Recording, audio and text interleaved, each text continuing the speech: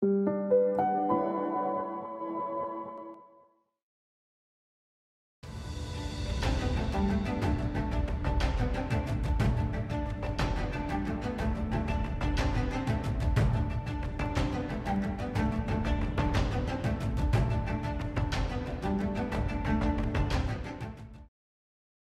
my name is McGuire Radosevich. I'm the secretary of the Federalist Society chapter here at the law school. I'm going to read a quick mission statement of the Federalist Society. The Federalist Society for Law and Public Policy Studies is a group of conservatives and libertarians interested in the current state of the legal order. It is founded on the principles that the state exists to preserve freedom, that the separation of governmental powers is central to our Constitution, and that it is emphatically the province and duty of the judiciary to say what the law is, not what it should be. The Society seeks both to promote an awareness of these principles and to further their application through its activities. I'd also like to thank the Public Law and Policy Program here at the Law School for co sponsoring our event. Um, with that, I'd like to introduce uh, today's guest speaker, Professor Josh Kleinfeld. Professor Kleinfeld holds a JD from Yale Law School, a PhD in philosophy from the Goethe University of Frankfurt, and a BA in philosophy from Yale College. He clerked for Judge J. Harvie Wilkinson on the United States Court of Appeals for the Fourth Circuit, Judge Janice Rogers Brown on the United States Court of Appeals for the DC Circuit, and President, that is, Chief Justice Aaron Barak of the Supreme Court of Israel. He worked as an associate attorney at Debevoise and Plimpton in Frankfurt, Germany, in the area of corporate criminal law, before law school, he worked as a senior research analyst at the White House's Council on Bioethics, and now he is a professor of law at the Northwestern University Pritzker School of Law. Um, so, without further ado, uh, please join me in welcoming Professor Josh Kleinfeld. Hi, everybody. Thank you so much for having me here. I'm really grateful to be here. Thanks for coming uh, during lunch to be part of the discussion. Hope the pizza is some compensation uh, for your time, even if you know whatever I say isn't. Uh, and thanks also to Orin, who um, um, I, I, saw him uh, in the fall and said, Hey, I'd love to come to Berkeley and share some ideas. And he sort of uh, brokered the invitation. It's a real honor to have him comment as well. I just had occasion to look at this list that's put together of the most cited criminal law and procedure scholars in, in the world. And um, he's number one by a country mile. One of the interesting things about the list is that the, the majority of people under him are in their you know 60s 70s 80s which is to be expected because you acquire citations in scholarly life as you go along right? And then there's Orin at 29 top, i'm only 29 and only 21 years old in the 2020 election um, a story appeared pretty close to the time of the election about hunter biden's laptop uh, it, it it turned out that a laptop had been found. It was Hunter Biden's, Joe Biden's son. Um, it had various sort of um, uh, sexual material that, that, could be sort of titillating, uh, but not really relevant to the election properly. Uh, but it also had some material that, that potentially was relevant. Uh, for example, material about Hunter Biden's financial affairs and how they were entwined with Joe Biden's financial affairs. Uh, the story was uh, broken on the uh, broke broken on the New York in the New York Post, and Twitter was worried. We now know that Twitter employees and leadership were worried that it would uh, help Trump in the election, so they arranged for any tweets linking to the article to simply fail. Um, the tweets just mysteriously wouldn't go through. Um, Facebook, meanwhile, also hid the story, buried it in their algorithms. Uh, the Washington Post and New York Times treated this story as sort of the equivalent to porn and just, you know, mocked it as a story, just purely purient interest. Um, it turns out it was all collusive, and it was, uh, it was not because the story was untrue. Later it was admitted to be true, and various retractions were published in these same sources. It was purely for uh, electoral management purposes, that is, to help Biden win the election. Of course, Twitter also deplatformed uh, uh, a former president.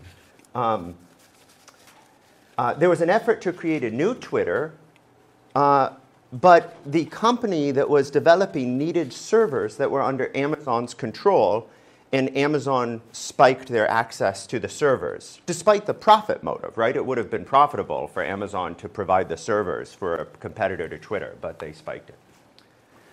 There was a book that uh, came out on the origins of the BLM or Black Lives Matter movement, uh, which was critical of the movement. uh, Amazon prevented the Heritage Foundation from placing ads on its site about, uh, about the book. Amazon also deshelved Ryan Anderson's book, uh, When Harry Became Sally, which is about transgenderism. And uh, Amazon employees tried to take down Abigail Shrier's book, Irreversible Damage. Amazon is an interesting actor in all this. Uh, when Amazon was locating its second headquarters, uh, it uh, put pressure on cities, essentially. Cities were desperate to get this uh, enormous source of economic revenue. Um, and Amazon created sort of rules about where it would locate its, its, headquarters having to do with the city's policies towards transgenderism and related issues. Um, and a number of cities complied in their effort to, uh, to get Amazon's second headquarters. So what we're seeing here is a phenomenon of big institutional actors taking sides, taking one side in the culture wars. And it's not just big tech. It's information systems uh, uh, more broadly, for example, publishers more broadly. Um, a number of historians have tried to publish book-length rebuttals to the New York Times 1619 project, and uh, they haven't been published. And they haven't been published not because of Amazon in this case, but because of the publishers, places like you know, the Penguins and Random Houses of the world. Basically, their employees revolted over the idea of uh, publishing one of these books, and so these books are not available. And it's not just those who deal in information, it's the professions. Many of my conservative and libertarian students are terrified of being outed as, as being conservatives and libertarians in their law firms. They sense, I think correctly, that at least at many of those law firms, they won't make partner, they might be fired, things will dry up for them if they are outed as political outsiders. Uh, one of my friends is a doctor at the University of Chicago uh, hospitals. Um, one of his colleagues was overheard saying after some DEI training session, they were walking out and he said, he was overheard saying, I'm so sick of all this woke stuff. And he was suspended for racism. Um, the same is true of accounting firms and essentially all the other professions. But it's not just the professions and not just big tech and not just the information world. It's the corporate world generally. It's the world of business. Uh, sometimes in surprising places. Coca Cola insisted that it would only work with law firms that had a certain number of black partners and um, secured collaboration to that end with a number of other corporations. You see similar kinds of activities in, in Delta uh, airlines and Walmart and Gillette. For that matter, in the NFL, where you might not expect it at first glance, but you certainly see it. And it's not just, uh, where am I now? Tech, professions, uh, publishers, professions, uh, corporate world generally. It's also the world of finance. So you certainly see this kind of thing in Goldman Sachs, for example, and perhaps most importantly in BlackRock, which uh, owns about a sixth of the economy at this point, or it has a controlling uh, shareholder presence in about a sixth of the economy. And of course, you see it in the nonprofit world. Guggenheim, MacArthur, uh, those, the, nonprofit world in America is actually quite massive. It's a huge amount of money, which, and collectively, through that money, a great deal of power, and it's incredibly ideologically tilted, more than universities, as a matter of fact.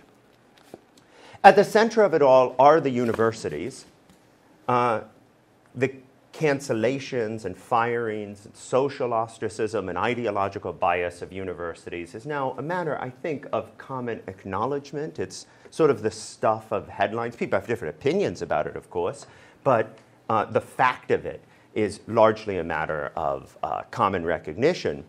What's not familiar is how old these phenomena are. What your generation knows as the woke movement was, when I was a kid, called identity politics and political correctness.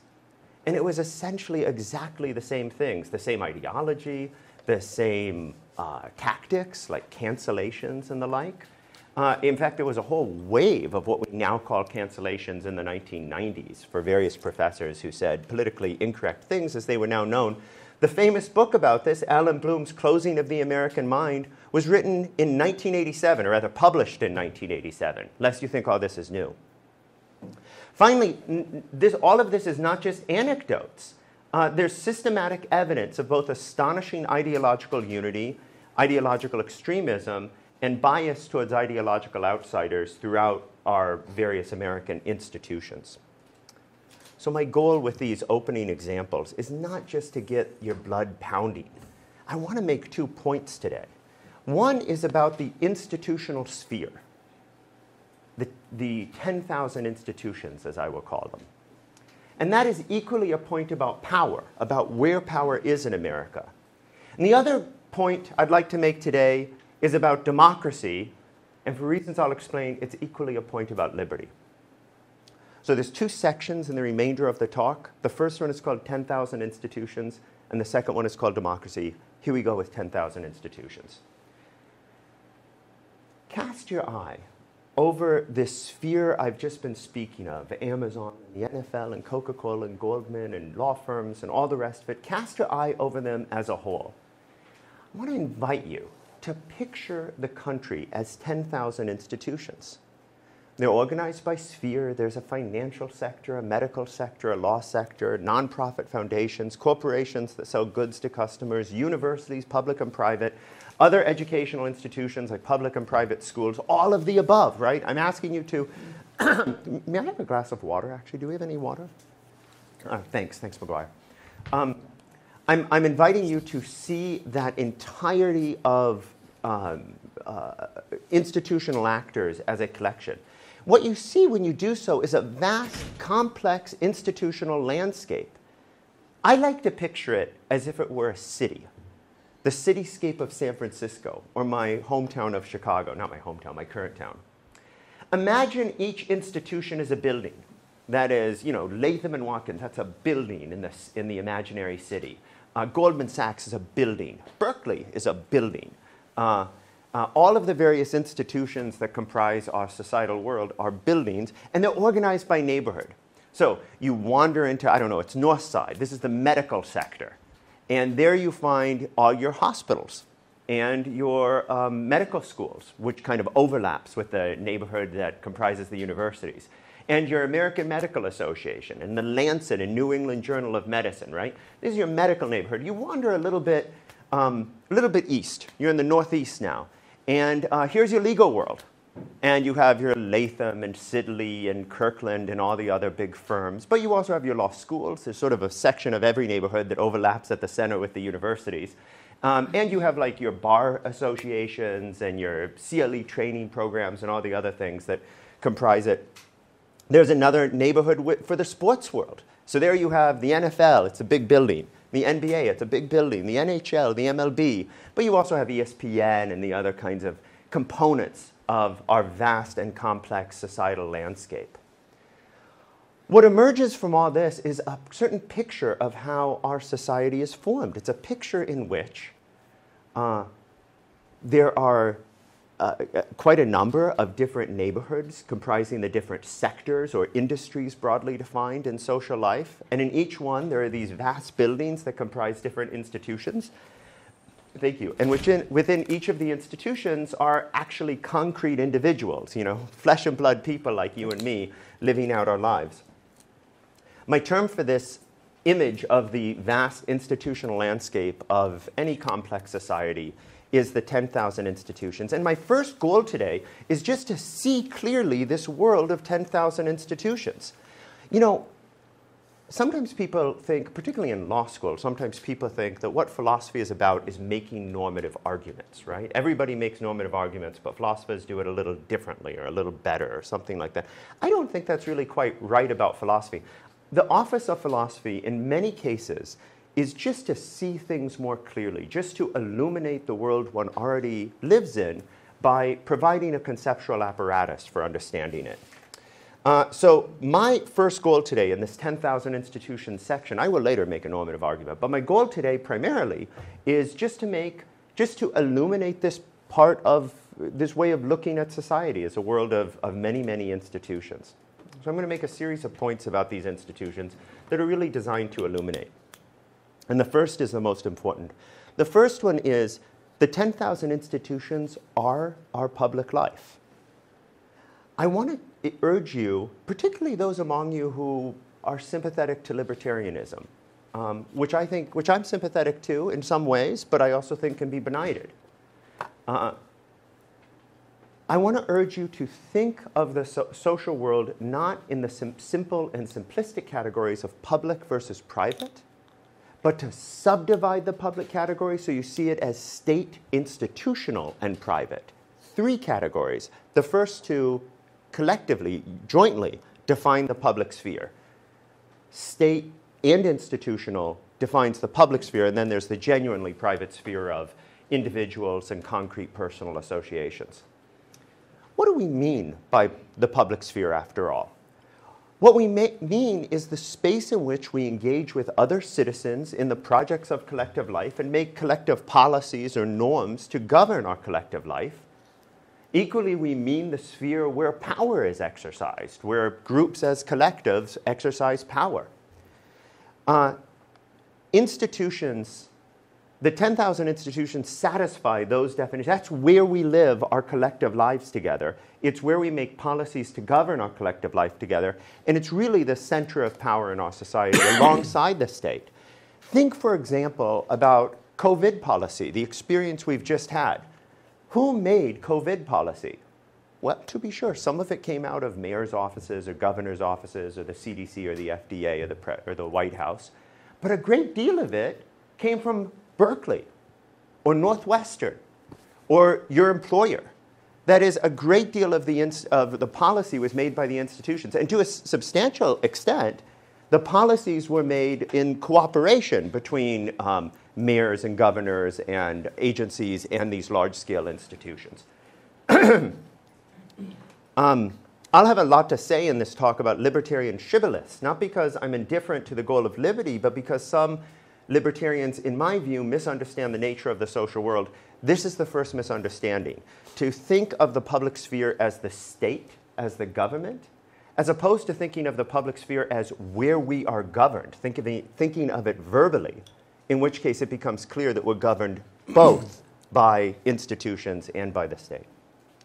Expanding on this two part idea of the public sphere, I want to add a few nuances here. First is that institutional life is not really non governmental, it's more like a marbling of governmental and non governmental. It's a combination of them.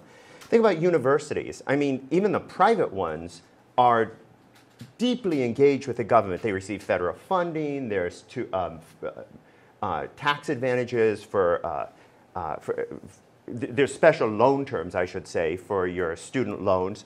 Um, there's enormous grants program, and of course, there's enormous regulation coming from the DOE. So even, you know, the Northwesterns of the world where I work are deeply entwined with the government. And there's a general counsel's office that's routinely on the phone with DOE, right? And there are places like Berkeley, which are formally hands of the state, and frankly, they're not that different. Uh, they're very similar to one another. Or think about an insurance company. That's a highly regulated industry. Is it really purely non governmental? It's more like a marbling of uh, an interplay between government and non government. Or think about a financial institution. Again, staffs of lawyers making sure that they are um, um, correctly carrying out the imperatives of government. Or think of Twitter. Twitter is interesting. It's less regulated, somewhat regulated, but less regulated. But is it really private? It's discharging a, a public function. Uh, in other words, the institutional sphere is not just the public sphere in a, in a conceptual sense that I was arguing, um, arguing about before. Even in a formal sense, it's deeply entwined with the state. And again, expanding on this, institutions are the main way legal enforcement gets done in society. Think of how taxes are collected. They're collected so effectively because the government isn't really interfacing with 330 million individuals, it's interfacing with the 10,000 institutions for withholding purposes. Or broadly, imagine some new policy were introduced by, I don't know, the Biden administration in the educational sphere. How would that be done? It would not be enforced through private lawsuits, right? There would be an agency which cooperates with the University General Counsel's office to define policy. In fact, this is really where you're going to live as lawyers, uh, at least for some portion of your life, I presume, at many big firms or in other settings. Um, uh, what, what high powered lawyers do in our society, to a substantial extent, is serve as the interface between the state and big institutions. So, this is really where, you, where you'll be living. Okay, second big point about the institutions they have become incredibly ideologically unified.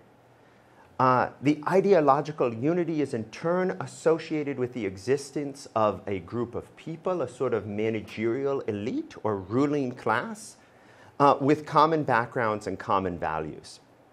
There's evidence of a relatively extreme degree of ideological unity at many of our institutions. So some examples. Netflix employees sent 98% of their political contributions to Democrats. Um, uh, NVIDIA, 93% to Democrats, Adobe, 93%, IBM, 90%, Salesforce, 89%, Alphabet, 88%, Microsoft, 85%, Apple, 84%, PayPal, 84%, Amazon 77%, Facebook 77%. This is really astonishing ideological unity in the sort of professional institutions. And uh, there have been similar studies of universities showing really quite astonishing things. Uh, for example, a study of 51 of the 66 highest ranked uh, US News liberal arts colleges, so sort of the top 50 of liberal arts colleges, uh, half of them, 25, had no Republican faculty whatsoever uh, and the remainder had typically one or two, right? So really quite minimal. There are well-known psychological effects of high, degree, um, high degrees of ideological unity. Uh, familiar, just very briefly about this, because there could be a whole lecture about it. But there are um, fascinating studies about what happens when you get a bunch of people who think in similar ways together to talk about something. And the basic finding is that they're um, together collectively is it's like it's like turning up the volume both on the ferocity of their conviction and the extremism of their conviction. And it seems to be a quite consistent psychological, sociological pattern. So, for example, um, let's imagine you get a group of people and you survey them initially at T1 and about their views of climate change. And you get a group of people, let's say 30 people, who are moderate climate change skeptics. maybe they think that um, climate change is a problem, but it's not an urgent problem, or they think climate change is a problem, but it's maybe, maybe not caused by human beings. They're sort of in that category. Now get another group. They are moderate climate change, um, I don't want to say believers, but uh, they're moderately alarmed about climate change. So they say climate change is a high priority problem, and I think it's human caused, right? put them together for an hour and a half to talk to one another separately from one another. And we know exactly what will happen from a battery of empirical studies. What will happen is if you give them the same survey after they've talked for 90 minutes, they will report not that they think that maybe climate change isn't, uh, isn't really happening or isn't caused by humans. They will say they're certain that climate change has nothing to do with human beings and is not a problem at all. And the other group will say, we're certain that climate change is a first priority problem. We should make any sacrifice to stop it. In other words, both their certainty and their extremism goes up. And it happens with almost any belief. Meanwhile, an intermingling of people with different beliefs will tend to moderate everybody. So, what happens when you produce these institutional environments with very, very high degrees of ideological unity? It's predictable. It makes them all more extreme and more certain. Um, in this context, I want to confront what I see as another libertarian error. And that is underestimating the force and importance of ideology. It's common for libertarians, I think of my father, who is uh, a kind of libertarian of the last generation.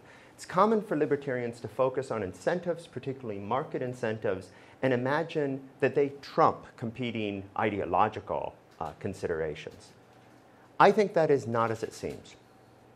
If you cast your eye over history, I submit that the two most powerful forces in human social life are identity and ideology. Ideology is more, more powerful than what people see with their own eyes. When I was a child, I went to, uh, I, I, grew up in Fairbanks, Alaska. It was a, a little town. Um, and uh, I went to a summer camp for um, kids who had done well on the SAT at too young an age. And uh, for the first time, I met sort of the members of the coastal elite. And I'll never forget, I was 13 years old, and I was talking with this other kid, and he was arguing ardently that there are no natural athletic differences between men and women. That is, women could lift just as much weight or jump just as high, dunk just as, uh, on just as high a rim in basketball. The only reason there appeared to be differences were that um, women had been convinced by society not to exert themselves to the maximum degree. And I was arguing with him, I, uh, saying, well, what about like just observable facts like the mass of an arm or a thigh or something? It got nowhere. So, and then I got really abstract. Well, force equals mass times acceleration. So, you know, given the same amount of acceleration, you imagine more mass, wouldn't that? Nothing, nothing, right? Why nothing? Because ideology is more, important, more powerful than what people see with their own eyes. Ideology is more powerful than the love of a parent for a child. During the uh, 1968 uh, German Cultural Revolution, uh, largely a, a, or partly a revolution over sexual freedom, uh, even more emphasized over there than over here. Um, a series of sexual freedom kindergartens were established uh, where uh, parents would send their kids in and the kids would have sexual encounters with the teachers quite routinely. And the parents thought it was good and right because they were convinced to do so by this ambient ideology, more powerful than the love of a parent for a child. Ideology is more powerful than experience. Look at the number, you know, right now, if you, um, if, if I go back to my graduate school philosophy experience, uh, if you were to just ask my, my colleagues in the program, um, who's your favorite political philosopher? What's your political philosophy? The modal answer would undoubtedly be Marxism. And if you then said, well, what about the experience of the Soviet Union and China and Vietnam and Cambodia and Venezuela and so on and so forth, they would just say, doesn't matter. Experience doesn't matter. Ideology trumps it. I don't think we'll ever really understand how the societal sphere works, how the sphere of 10,000 institutions works, unless we appreciate the sheer force of ideology in the world. It's not that incentives don't matter libertarian insights about markets, incentives, principal agent problems, these are insights to be sure. The problem is they tend to think of the thing to which markets are oriented, the, the, the thing to which we're incent- the thing we're incentivized to try to acquire as being purely material, that is financial or otherwise property. And that's not so. Often the things um, for which we'll sacrifice ourselves are ideological. In this context, I want to address a series of false equivalency arguments. But uh, it is very common for people to argue that, you know, Josh, you're pointing out all sorts of problems um, on the left side of the aisle, but what about the problems on the radical right? Aren't they just as bad? Isn't the radical right just as threatening and just as extreme as the radical left? And the answer is yes, but. What's the but? The but is that the radical right doesn't have control of the 10,000 institutions. So let's imagine, I'm going to give very rough numbers here, that 20% of America's population, 10%, that 10% of America's population has very radical and alarming right wing ideas. Maybe they're white nationalists.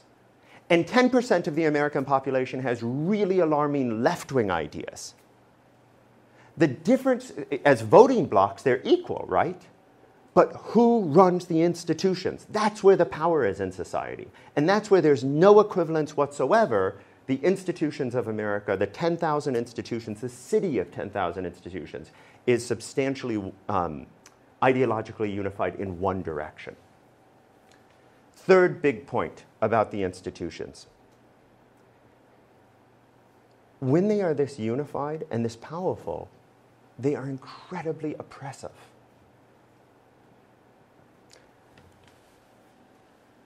There's some things you know when you feel them. You know when you're having fun, you know when you're in love, and you know when you're free. And I know I don't feel free. And I'm going to submit that many of you and many of your classmates do not feel free.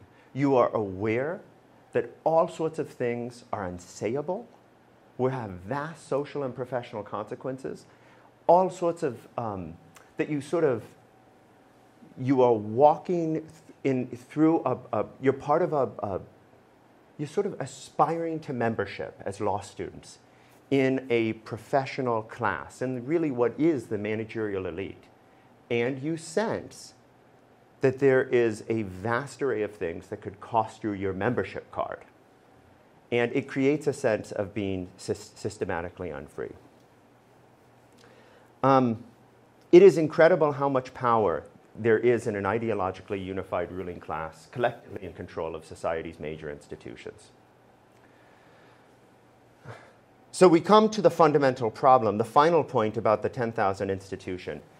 Uh, an ideologically unified ruling class in control of society's institutions has created a new threat to liberty. Not the familiar one of the libertarians, you know, state comes with guns telling you your money or your life or something like that, that crude threat.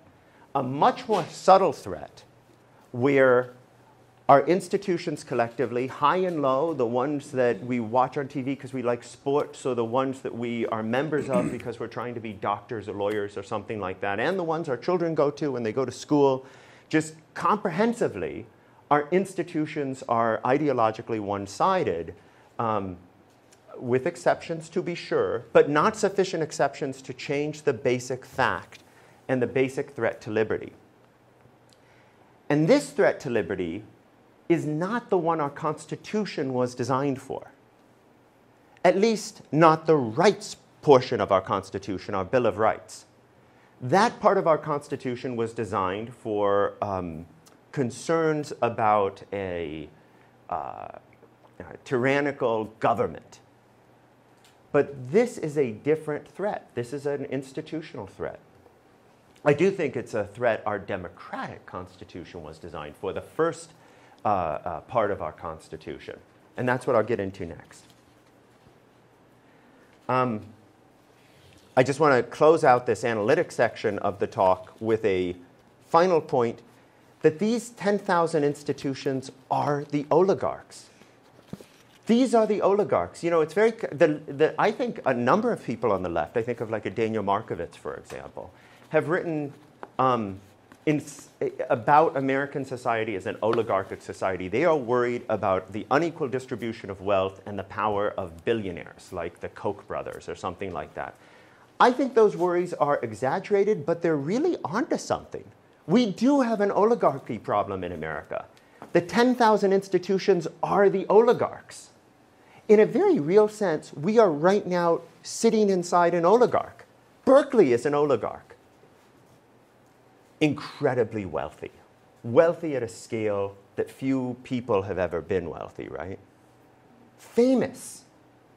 The name Berkeley rings out from, I've, I've, I've said the name Berkeley in you know, Tbilisi, Georgia, and Yerevan, Armenia, and uh, Manila in the Philippines, and everyone knows that name a brand that everyone recognizes. But beyond the fact that it's sort of maybe as big as Coca Cola and as famous too, it has two other things that Coca Cola does not have. Coca Cola does not certify people to be members of the elite. Berkeley does. Berkeley has control of populations, it gives them their membership card in the ruling classes. And Berkeley has one more thing, too. Each of the fields that comprise it physics, philosophy, history, whatever is a way of conceptualizing a little piece of social reality to a substantial extent. They, they give us the, the glasses through which we can see the world around us. And uh, when they become ideologically one sided, they, they, as it were, um, become the apparatus of our minds in a way Coca Cola does it. They give us our capacity to think about the past, for example, to think about the human mind, or think about science. So we are inside an oligarch now. In other words, who are the oligarchs? The oligarchs are the 10,000 institutions. And so here we come to my second big point. I'm going to rush through this because I want to have time for questions and time for Orin. This next big point is about democracy and liberty. The first thought is it is imperative to control these 10,000 institutions. It's a matter of basic justice that we be able to control as a community these 10,000 institutions. And what force can control this? What force was designed to control this? Only democracy, only majority control. Where else is the control of these institutions supposed to come from? There's nothing outside them that could exercise control except the power of um, majorities through democratic means. Uh, there's no other source of power. Someone, it's, it's a matter of basic justice that someone somewhere can say to Goldman and Coca Cola and Delta and the NFL and, and all the other institutions in the city of 10,000 institutions that someone can say, don't do that, that's wrong. The way we once said, don't discriminate against African Americans, that's wrong. We have to have that ability as a democracy to intervene in our collective life or what? Or the democ- what is the point of democracy? It's to control the terms of our public life, our shared communal life. And if they, if they cannot intervene in those institutions, if they cannot exercise, you know, many libertarians, it's a common uh, idea among libertarians that the institutions of America should be largely immune from governmental control. Governmental control should be sort of minimized at all costs. That doesn't help the cause of liberty, that hurts the cause of liberty. What's necessary is for democratic forces to be able to intervene in these collective institutions in order to redeem the cause of liberty. So, what you start to see is not democracy and liberty as opposed, but democracy and liberty as unified. Democratic, that is to say, as I use the term, majoritarian forces are necessary to controlling, uh, to, to, it's, to, to preventing the oligarchy of institutions, preventing the community as a whole from being under the illiberal control of a ruling class. I just think the if we reflect on the point of democracy, it's to control the shape of our shared public life, and that has to mean control of the institutions. To say that is not to be a right skeptic. I am not a right skeptic. I believe in the sanctity of individual rights. But it's a grave mistake to think that the sanctity of individual rights means that Coca Cola is immune or substantially immune from governmental control, or Berkeley is immune, or Northwestern is immune or substantially immune from public control. Individual rights are individual or involve small scale associations, like families. Uh, it is actually by intervening uh, democratically in these institutions that we preserve individual rights. I think this uh, point has to be nuanced in one more way. There is one set of institutions that are, according to the Constitution, set aside, substantially set aside from governmental control, and those are religious institutions. But it is a mistake to think that the way our government relates to religious institutions is a sort of model for how it should relate to all institutions. So, just as the government can't intervene and tell the Catholic Church what to do, it also can't intervene and tell Northwestern what to do, or tell Goldman Sachs what to do, or tell Coca Cola what to do. that doesn't follow. We have a very specific set of disastrous religious civil wars undergirding our uh, reasons for setting aside religion from governmental control, as well as some basic philosophical matters having to do with the nature of faith and religiosity itself. That is a special case. Those institutions are set aside and constitutionally set aside. The rest of our institutional life is open to democratic control. Um, imagine you disagree imagine you believe that really the ideal of fully independent institutions is the correct ideal. You know, we don't want the government in control of businesses. We don't want the democracy intervening in how business. We want people to be able to get together and run their business how they want, and the market will fix it, right? If, if one business is doing it the wrong way, other businesses will come around to do it another way. What I would invite those of you who are thinking along these lines, I would invite you to consider what you think is best in the second best world we already have.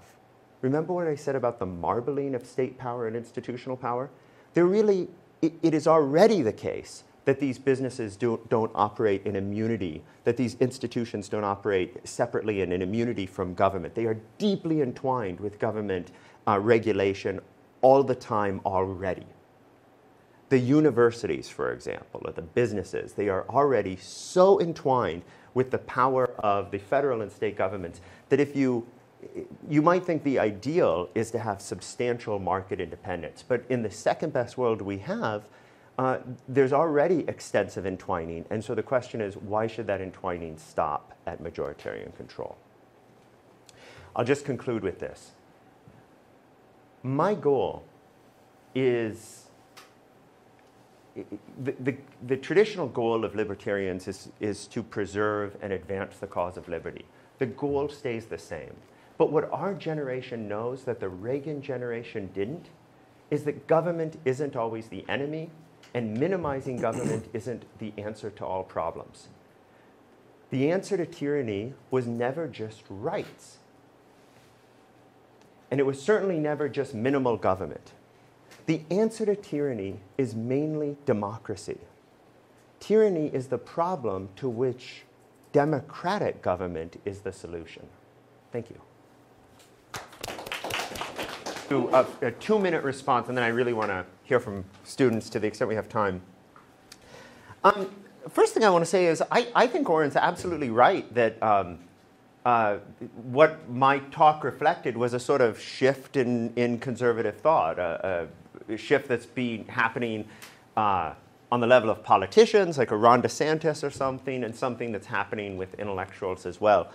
Uh, I'm basic. I'm aware. I, am basically trying to um, provide a philosophical backdrop, an intellectual substrate uh, to the majoritarian conservatism I resist the word populist, but the majoritarian conservatism that is now increasingly widespread. I take pride in that. I think that's a lot of what intellectuals do. I mean, if you look over the course of philosophical history, what you see is there's something emerging in politics, there's something happening. It's 1789, the French Revolution is unfolding, and um, Edmund Burke writes his reflections on the revolution in France, and Thomas Paine writes his declaration, uh, uh, his, his response. Uh, uh, to Burke. And that's how intellectual life works, right? We try to engage theoretically and philosophically at the broadest possible level with the world as we experience it and revise our ideas from the past. So I don't take that to be uh, a criticism, just sort of an observation that I, I think is warranted. Um, I do think it's interesting to observe the extent to which uh, um, I'm picking up and others are picking up on ideas traditionally associated with the left. I mean, the, um, the, they're not consistently associated with the left. It's actually complicated. I mean, the first real wave of thinking that institutions need to be democratically regulated was with the Reconstruction Republicans in the wake of the Civil War. There's a major intellectual tradition associated with Reconstruction around these lines because Thaddeus Stevens and the, and, and uh, the other sort of heroes of the um, Republican Reconstructionists were trying to reform Southern institutions. They were well aware of the constitutional implications of doing so. Um, and then in the 20th century, that idea was associated with a lot of uh, left and especially Marxist thinkers. And you know, I borrow from their ideas with pride. Actually, you'll notice that one of my the ideas I was trying to sort of put front and center was the idea of class consciousness, which is of all ideas characteristically Marxist. That's fine. That's about how events, you know, new events, new experiences in the social world and the political world can lead us to recapture old ideas, to think in new ways, to have new forms of illumination. At least I hope so. Um, I do resist the idea that this is that sort of um, that my talk reflects a kind of back in the good old days. Call it good old dayism. Like, like, things were fine before and now they're messed up and so we have to change things. I don't mean to say that things were fine before. I do think there's, um, I do think something genuinely new is happening which should spur new ways of thinking or new insights about the institutional sphere and its relationship to democratic forces. Um, uh, but I, I, don't mean to minimize the ways in which the, our social life or our institutions were oppressive in various ways before. Just that the new reality highlights certain um, shortcomings that we can now remedy. I do want to resist one thing, and that is the, the kind of minimization, like Twitter, ah, it's just working the refs, uh, nothing's really changed here, same old, same old.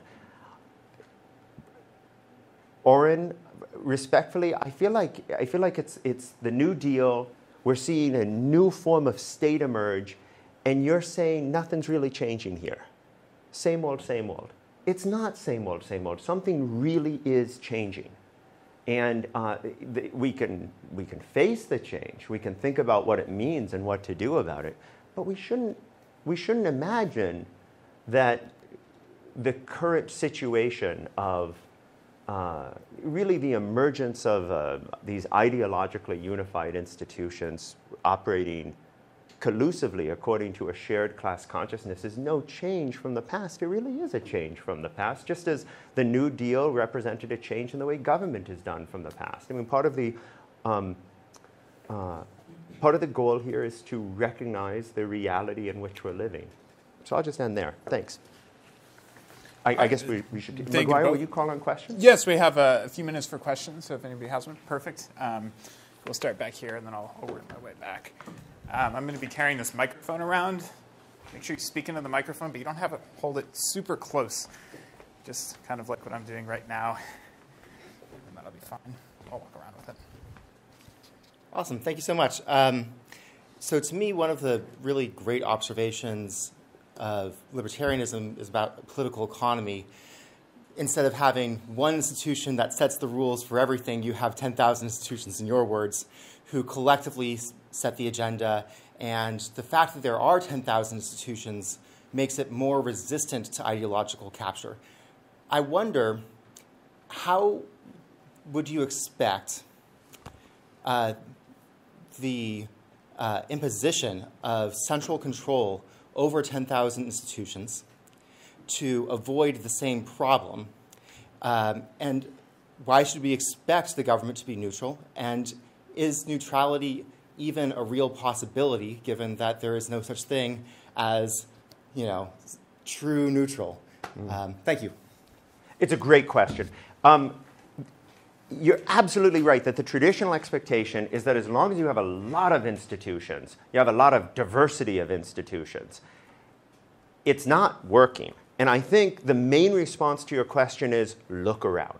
The main response to your question is just to observe the sheer amount of unity among our 10,000 institutions. Uh, partly, I think it's that the, uh, they've gotten bigger. You know, if you look over the history of legal practice, it used to be most lawyers were in solo practice or small firms. The big firms have gotten bigger. So that's part of the explanation, I suppose. And that's happened kind of across the board, is sort of more market share to a smaller number of players. Um, uh, partly it's that the managerial elite, the ruling class, who contr- you know, there's a group of people who run institutions, whether it's, you know, a union or a nonprofit or a university or whatever. They're the same basic group of people. They've had a very common kind of education. Uh, there's, so once a, a prevailing ideology gets control of the universities, it becomes a class consciousness, a class ideology. It, it, you could look at universities as the ideological bottleneck of the entire world of institutions. So I think that might be part of the explanation. The biggest thing I'd point to is that um, uh, the expectation, let me put it this way there's good theoretical reasons which greatly inspire the libertarian movement to think the sheer profusion of institutions will cause there to be a lot of diversity and therefore freedom. We have to recognize when it's failing. We have to recognize when the, when the hypothesis, theoretically attractive though it may be, is empirically untrue and respond to the empirical reality. Finally, I want to respond to your worry, reasonable worry, that uh, uh, government intervention uh, will not increase the amount of diversity and freedom, but will only decrease it still further. It's necessarily kind of unifying, right? It's intervention from the top. I think the shape of that intervention can easily be structured, can realistically be structured to expand diversity and freedom. If, if the government were to uh, add political ideology as a protected class and tell institutions that they can't discriminate against, fire, non partner, uh, uh, individual employees on grounds of politics unless dir- directly relevant to their job, um, you could have uh, uh, you would have a much higher degree of intellectual diversity and freedom in our institutions than you have now. By the way, that's not so unfamiliar. California already has that law, it just doesn't enforce it. But actually, California is highly protective of political ideology uh, uh in institutions. Um, um, and federally, we have a series of protected classes. We just don't count political ideology among them. Uh, so there's, that's just one example, but there are a variety of ways in which state intervention could be freedom enhancing. Don't, don't fall prey to two theoretical ideas that more institutions means more diversity and freedom and that, and that government intervention will necessarily reduce it in a totally non empirical way, in a way that doesn't ob- observe what's actually happening and just assumes that what must happen on a theoretical basis uh, is happening. It, it, there, we need to get away from a priori thinking and get into empirical thinking. Thanks. Okay, I think we have time for one more question. At the very least, we're facing a political problem, and by that I mean that the old kind of club for growth, chamber of commerce policies just aren't driving out like the Republican base or voters anymore. So I just want to ask both of you how you would advise the Republican Party to respond to that.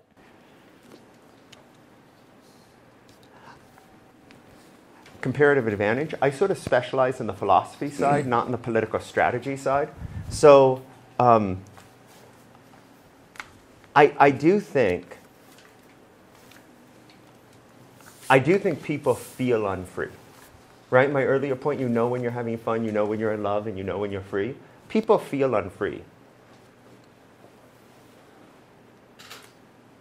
And they feel degraded by it. You know, I, I have a friend, he's a law professor at a very, very distinguished school, and his dad uh, is a butcher. His dad tried to launch a, a grocery store, and the grocery store uh, didn't work out and um, it, it's an interesting study of various corporate law principles, which my friend brings up in class from time to time. Uh, and the students have said, you know, you should bring your dad in to talk about his experience. That would be so interesting. My friend told me, why would I let those students at my father? You know, un- he's a butcher. He'll undoubtedly say something they consider improper, and then they'll make his life a living hell, right? Um, he wants to protect his father from those students. People sense that, and it makes them feel both unfree and degraded. And I think it's good political strategy to offer solutions to that kind of thing. To say, this isn't right, and we need to uh, protect people via governmental power from various kinds of cancellation or exclusion from employment or other kinds of um, wrongful uses of institutional power. And I think, I think that can be done in various practical policy ways that will have a lot of political appeal. But again, I hasten to add, I'm not a strategist. I'm trying to provide the intellectual backdrop of, of this moment. I just want to add one thing to that, or uh, maybe see if you agree with it. A lot of those crazy beliefs have to do with alienation from American institutions. I mean, so believing that Obama was born out, out of the United States, notwithstanding the fact that, you know, our media institutions, for example, tell you, no, it's a fact he was born inside, that comes from a profound distrust of our media institutions, right? A believing that Trump won the election and the election was stolen comes from this sense of a kind of conspiratorial ruling class who's fixing the election. And so I, I guess my point is the two the phenomena that I'm talking about and the phenomena you're pointing out of these crazy right wing beliefs, they're related. They're, they're the, um, what happens when your institutions become really, really biased and really ideologically unified and, and people start to feel alienated from them is um, uh, that the alienated people start to embrace uh, crazy beliefs or, or just false beliefs outside of the institution. See, I, I want people to trust our institutions, but I also want our institutions to be trustworthy. Neither part of that is working right now. Maybe right. that's where we end. I think we're out of time.